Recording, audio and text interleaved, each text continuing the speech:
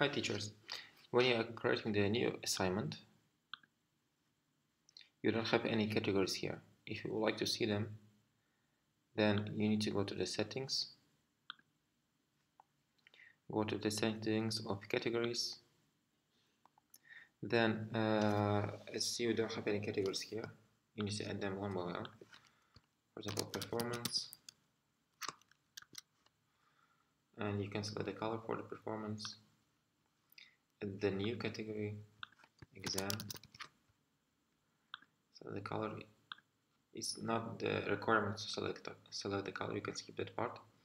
If you are using the weights among the categories you can specify that one yes and weights like 60 40 yep you can use them. Uh, you need to specify the weights so that it will be 100 in total and save. Save and now when you are creating the new assignment you'll be asked to select the category. For example exam. You can specify that uh, in exam for example September exam. And save. And now you can see that the September exam is under the category exam Okay, thank you.